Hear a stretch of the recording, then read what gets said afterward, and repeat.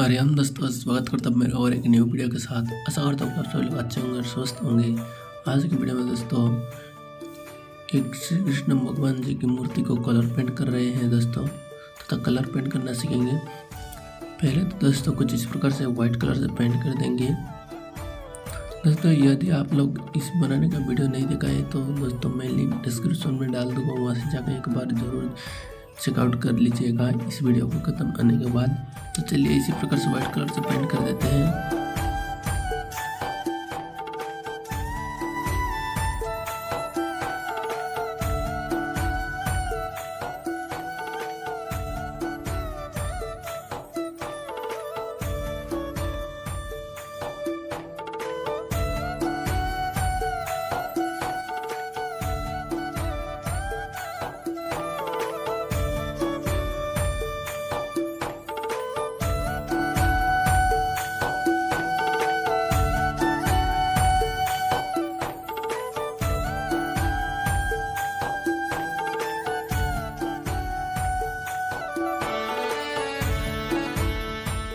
दोस्तों white colour से सब तरफ़ पेंट कर देने के बाद अभी श्री कृष्ण भगवान की शरीर का कलर करने के लिए कलर का मिक्स कर रहे हैं।